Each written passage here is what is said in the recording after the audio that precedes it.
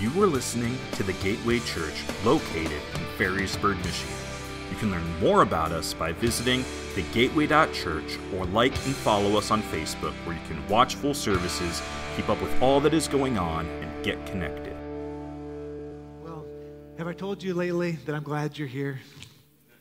I really am. I'm so glad you're here. And I just want to say to the guests that are here, uh, you are an answer to prayer. We've been praying for you. And really, all of you are an answer to prayer. We are glad that you're here. And we've been in a summer series called The Test, uh, studying the life of Joseph. And we're going to dive right in. And I realized this week that after today's message, we will be over halfway through this summer series.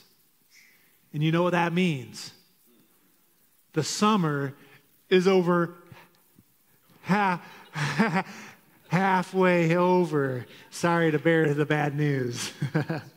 and we've declared it as a summer of dreams, amen, and a summer of building character. And we've been looking at the life of Joseph, and, and we've been getting into God's word in the book of Genesis, and it's been life to us. And I love the fact that God's word is a real book with real life stories and real people and real role models like Joseph. Now, Joseph was not perfect but he was pretty great, and he's a good example. And he's been an example to us as we've looked at uh, the pride test and the pit test and the palace test, right?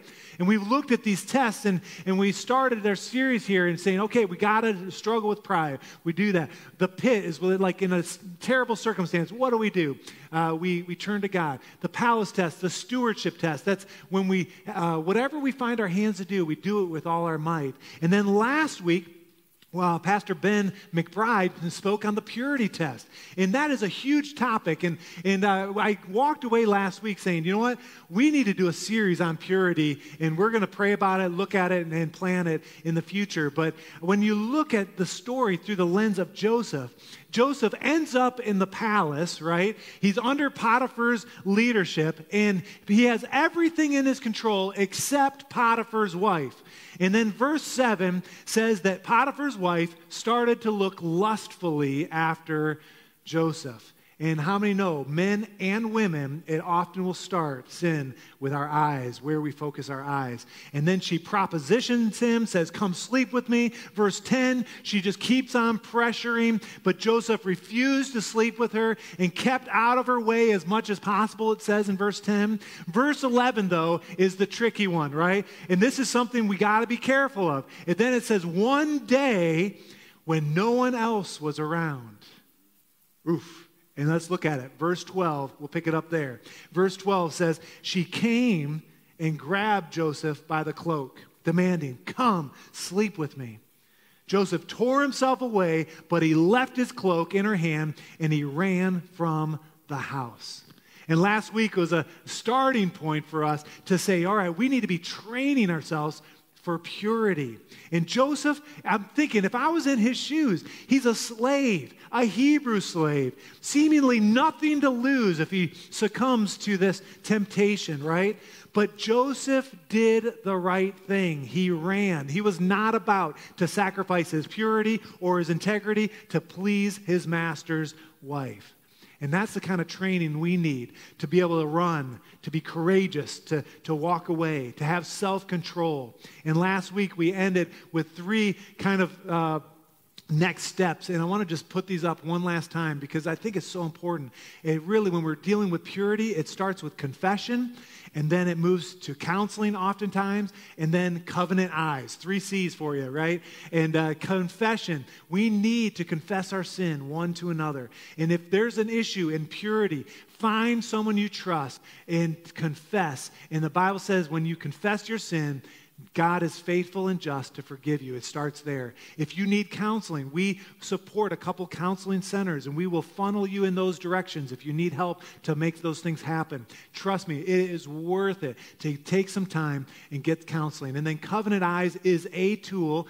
It's a great tool. I've used it for, uh, it seems like almost 20 years. Uh, uh, I think 19 or 20 years for me. But uh, Covenant Eyes is a tool of accountability, and we would provide that that for you, for your family, for no charge. That's how much we are committed to helping you live pure. And so, and I get it. If you're saying, okay, um, I, I, I, could probably benefit from that, um, but it's, there is a step that you might need to take to say, okay, I need some help in this area. And I promise you there will be no shame, right? We're not going to throw you under the bus.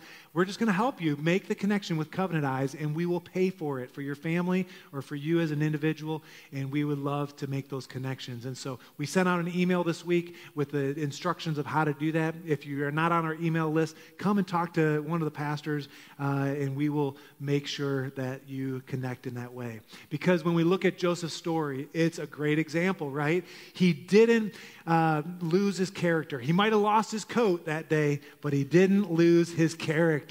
And when we talk about character, uh, I, I want to just hone in on this for a moment. You're not born with character. It's something that's developed, something that is uh, learned over time, and oftentimes it takes a lot of time.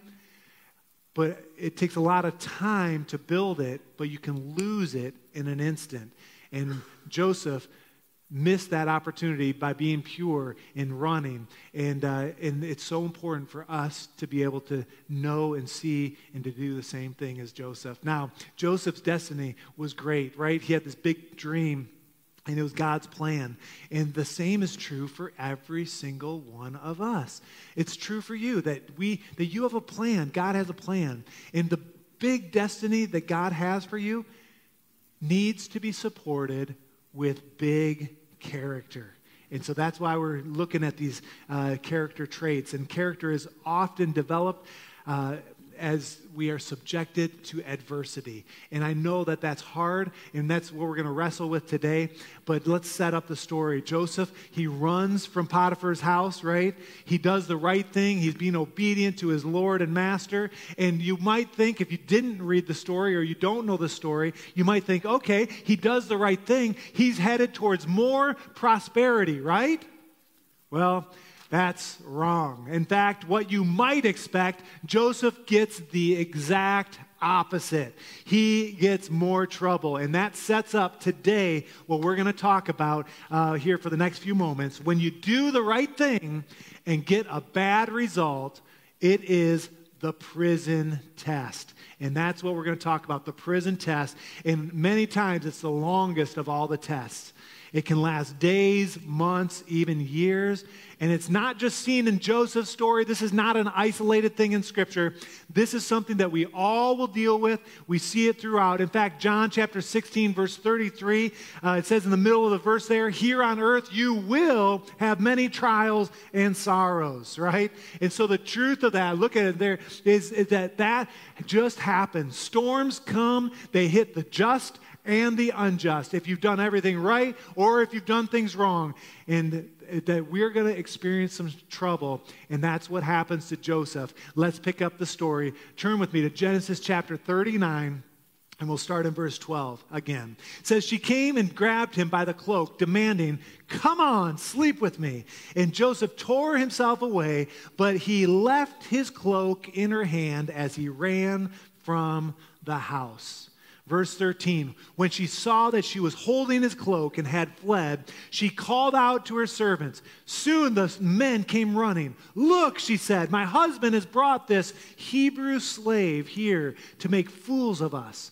He came into my room to rape me, but I screamed. When he heard me scream, he ran outside and got away, but he left his cloak behind with me. She kept the cloak with her until her husband came home. Then she told him her story. That Hebrew slave you brought into our house tried to come in and fool around with me, she said. But when I screamed, he ran outside, leaving his cloak with me. Potiphar was furious, and rightfully so, when he heard his wife's story. And let's just remember this is a story, wasn't factual, about Joseph, how he had treated her. So he took Joseph and threw him into prison where the king's prisoners were held, and there he remained.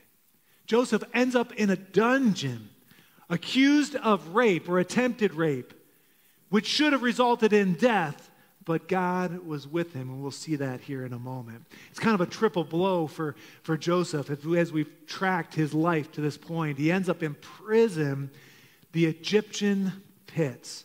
And the question that wrestles in my mind, and you might be thinking even this morning, where is God in all of this?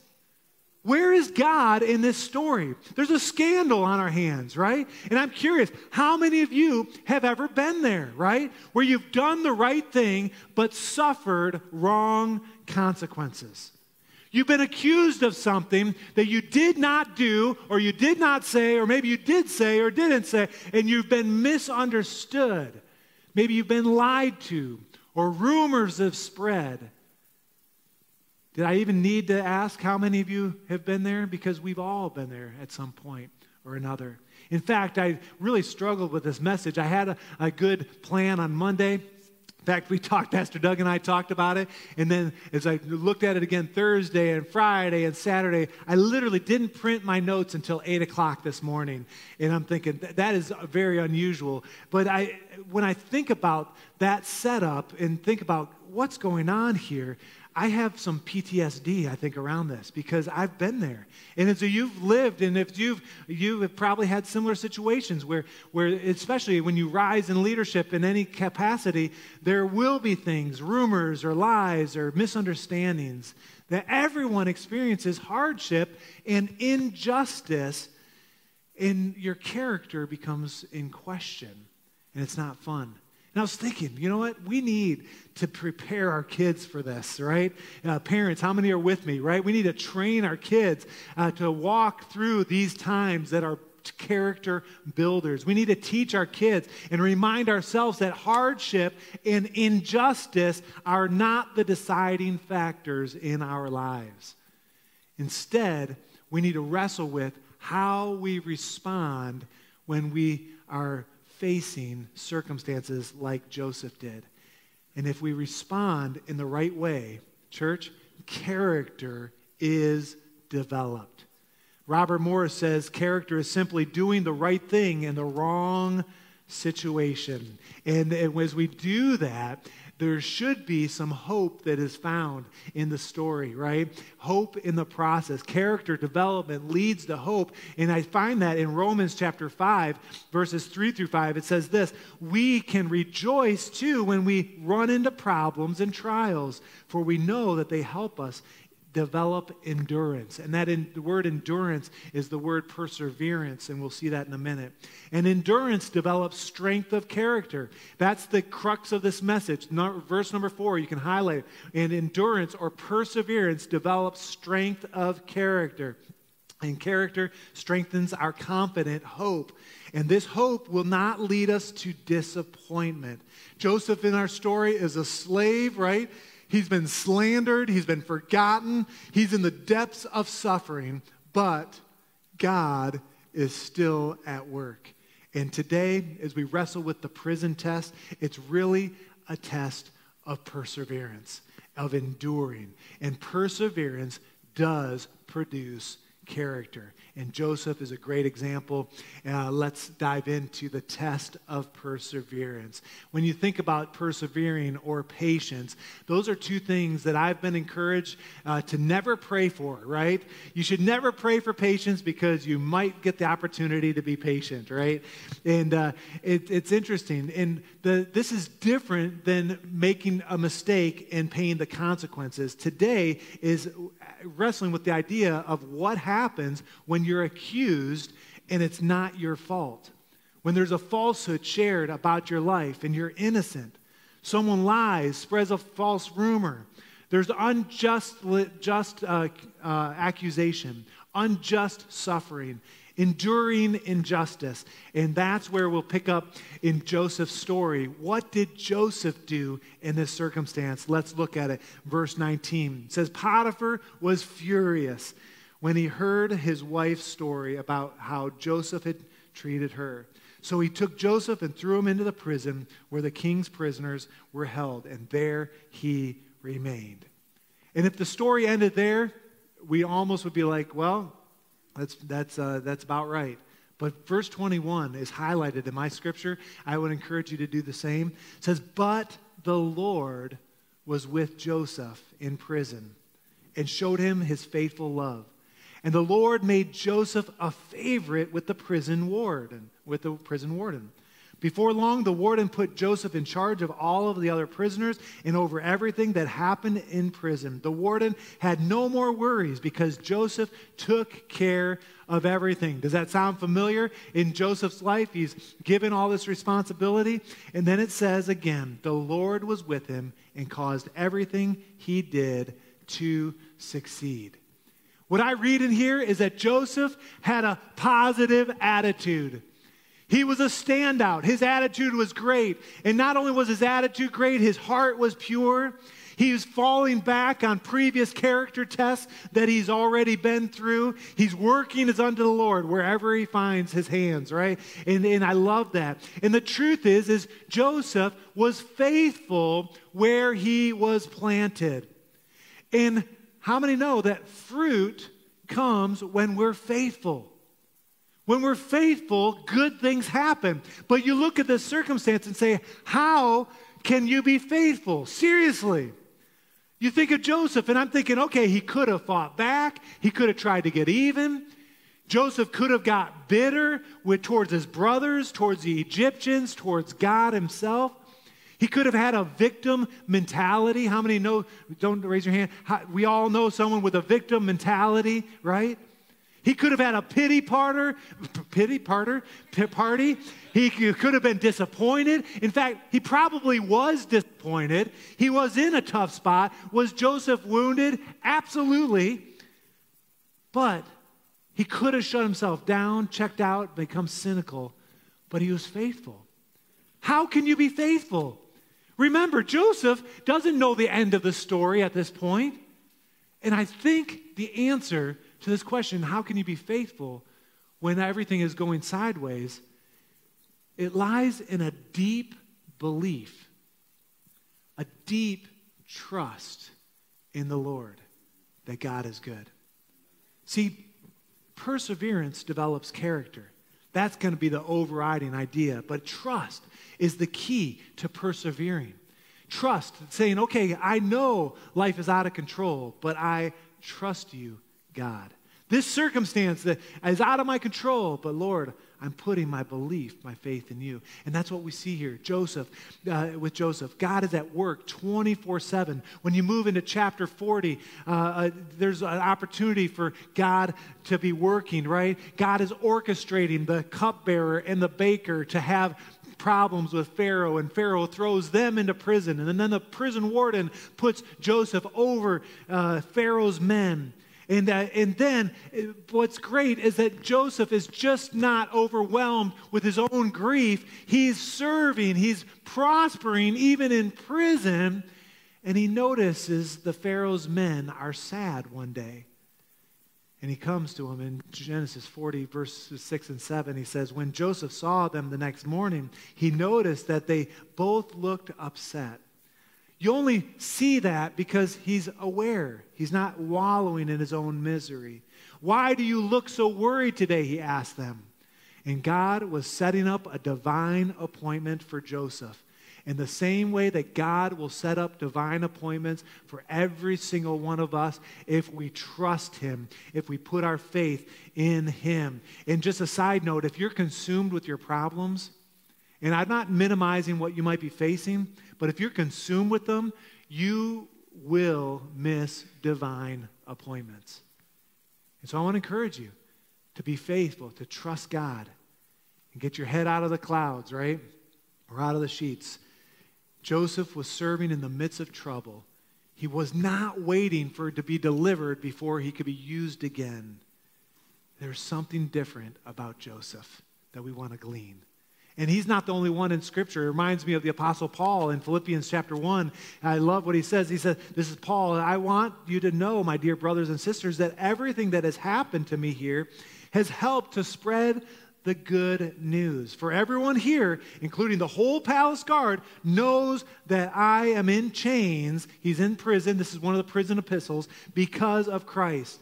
And because of my imprisonment, most of the believers here have gained confidence and boldly speak God's message without fear. Trusting God. Wow. There's something different about Joseph. There's something different about Paul. There should be something different about us. A deep trust in the Lord. It reminds me of the verse that I uh, learned uh, early on in life, Proverbs 3, 5, and 6. In fact, Jessica wrote this in a Bible that she presented to me when I graduated high school. You remember that, Jess? I still have that Bible. I should have brought it, but she wrote in there a nice little love note, encouragement. It was all because we were so spiritual. She gave me a Bible. And she wrote Proverbs 3, 5, and 6. Trust in the Lord and me. no, I, didn't. I know she didn't say that. But trust the Lord, right, with all your heart. And depend not on your own understanding. In the NLT, it says, Seek his will in all you do, and he will show you which path to take. Trust, believing. And I, I, what happens is when you trust and believe over time, perseverance is developed. Perseverance. See, trusting also you got to trust in God's time. And I just want to make note, we're not going to look at it long, but in chapter 40, verse 1, and then chapter 41, verse 1, look what it says, respectively. It says, sometime later, so this is after Joseph was thrown into prison, Potter, Potiphar's chief cupbearer and chief baker were offending the royal master and thrown into prison. And then in verse chapter 41, it says, two years later, and then Pharaoh's dreams take off, and that's going to be next week as we look at the power test, and uh, that'll be really good. But, um, but what happened is between these two chapters was a lot of time. And not only did Joseph learn to trust God's time and to trust Him, believe Him, learn to persevere, but he learned to trust God's word in that season as well. Because we see, when you read it, we're not going to take the time, but Joseph interpreted some dreams of the cupbearer and the chief um, uh, and the chief baker. It was the first time we see Joseph interpreting a word from the Lord. And so, and by the way, he gives him gives God the credit, and rightfully so. But it's trusting, learning to believe that you hear from God, and trusting God's ways, what God allows trusting how God reconciles stuff, uh, it can be confusing. It can be hard. And it was probably hard for Joseph. But in our own darkest days, we can trust just like Joseph did. You say, well, how do we persevere? Well, if you've ever had a friend that has abandoned you, or if you've ever loved a spouse and then they've kind of left and ripped you off, or if you've ever given something to someone and they never paid you back, or if you've ever worked with a partner in business and the business went sideways, things fell apart. If you've ever had a, someone uh, had a false statement said against you, it's painful.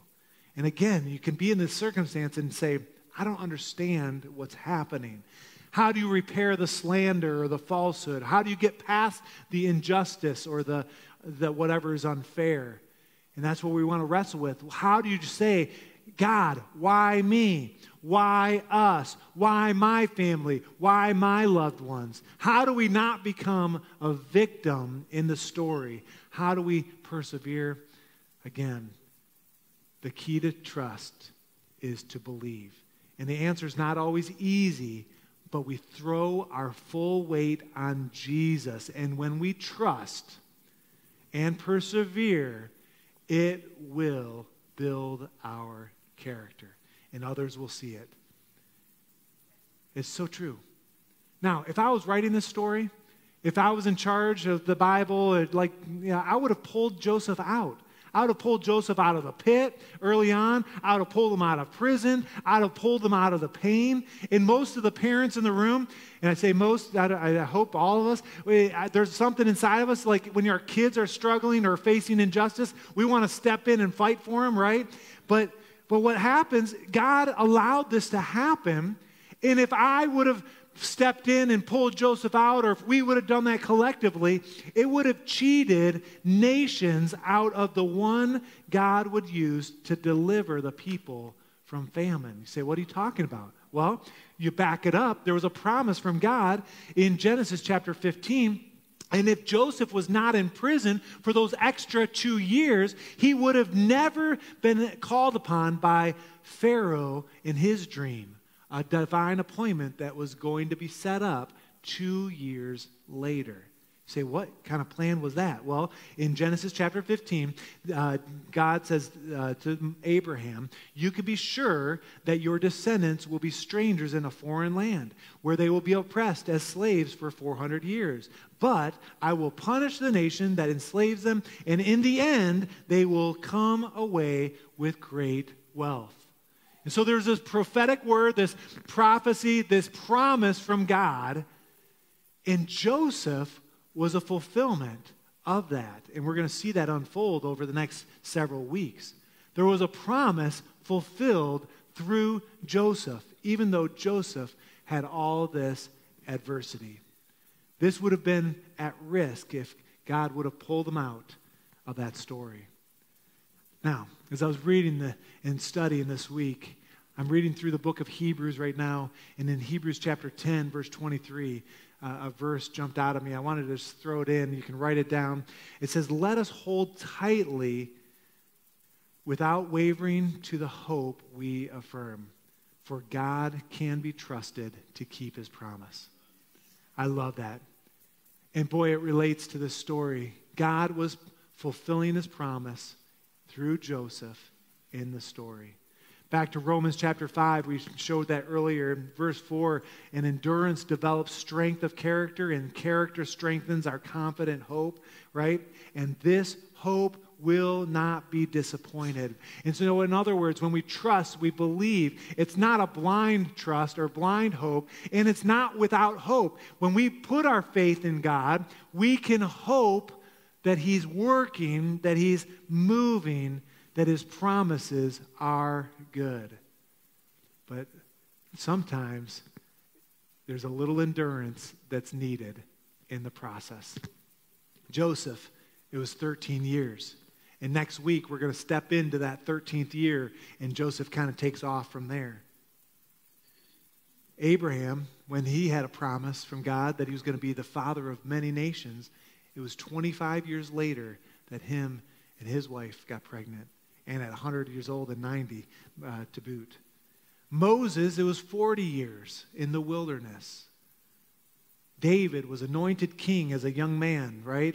And it took 13 years before he was actually appointed king. That's a lot of enduring. And even Paul, the Apostle Paul, was uh, anointed as an apostle but it was 13 years later that he started his first missionary journey. So, if you're in a spot today and you're in a season of persevering, you're in the trouble, and especially if you've been misunderstood um, or you're falsely accused in some way. If you don't understand, you say, Man, the struggle, I, I'm having a hard time understanding. Where can we turn? A verse that just screams to me, and it's actually a bridge between this week and next week. 2 Corinthians chapter 12 says this. Each time he said, This is Jesus saying, My grace is sufficient. Or my grace is all you need. My power works best in weakness. I'm going to ask the worship team to come. It says, So I am glad to boast about my weakness so that the power of Christ can work through me. That is why I take pleasure in my weakness and in insults, being misunderstood, hardships, persecutions, and trouble that I suffer for Christ. For when I am weak, then I am strong.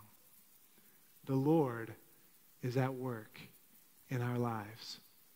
And today, I want to speak that over us. I want everyone to stand right where you are. And uh, I'm going to read just straight from my notes here uh, kind of a prophetic word over us that I wrote earlier in the week and brought it in. And it really will set up the song that we're going to sing here in a momentarily. The song is called Never Leave. And, and I just want to encourage you to come to Jesus if you're struggling. But this is the word of the Lord for you today. God is working everything out for our good right now. God loves us and is going to care for us right now. We are at the center of God's will right now. And the last phrase God is with us right now.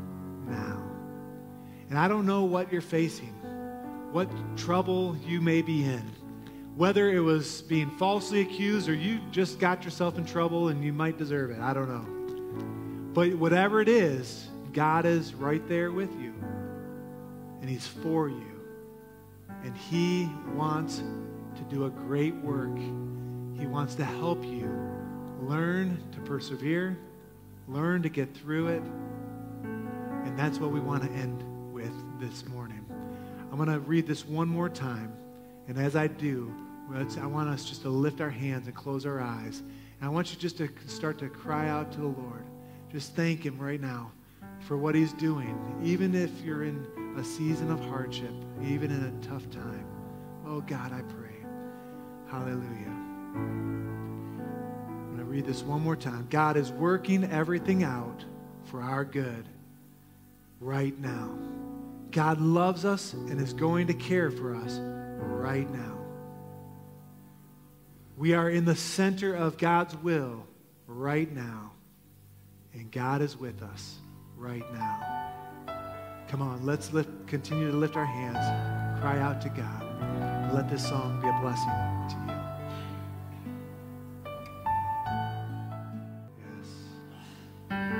God is working everything out for your good right now. He loves us and is going to care for us right now. We're in the center of God's will right now. God is with us right now. And I understand that there are some in the room that certainly don't feel that way.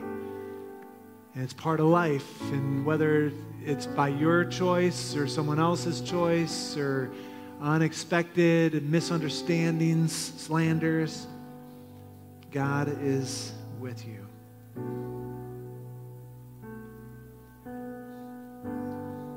In 1 Peter chapter 2 verse 20 it says of course you get no credit for being patient or enduring or learning perseverance if you are beaten for doing wrong but if you suffer for doing good and endure it patiently God is pleased with you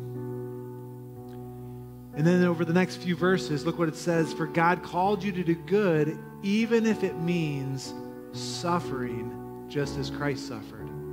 He is your example. You must follow in his steps. Joseph is a pretty good example to follow, but the ultimate example is Jesus Christ.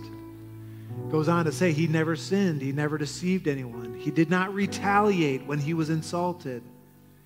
He never threatened to revenge when he suffered. He left his case in the hands of God, who always judges fairly. I love that. Today, no matter what you're facing, we hold it in our hands lightly and we declare God is the one at work. He's our example.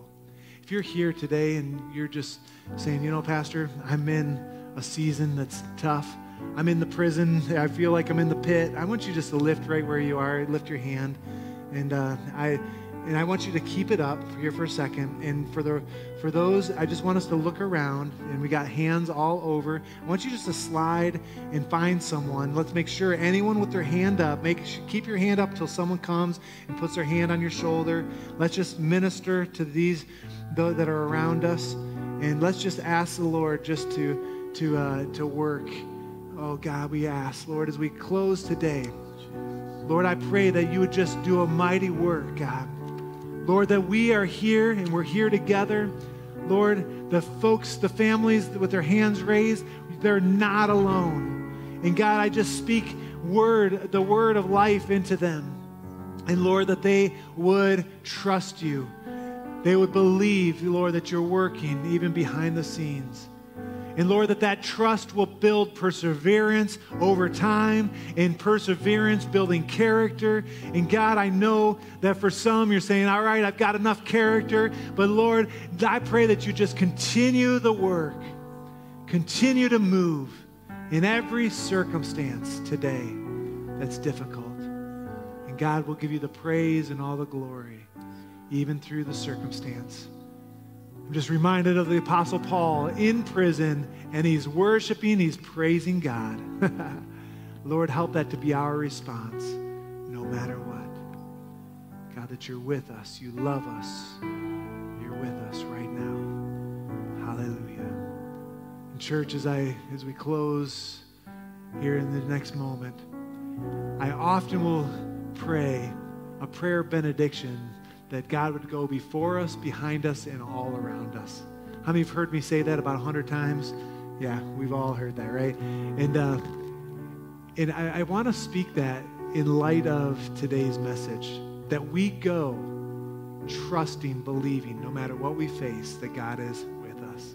And so, Lord, I pray that you go before us, behind us, and all around us, and bring us back together again for your glory, for your honor in Jesus' name. And all God's people said, Amen and amen. We love you. God bless you. Go in the grace of God. Thank you for listening to this week's message from the Gateway Church. If you'd like to find out more about our church, such as service times, giving, and ways to get connected, visit us at thegateway.church.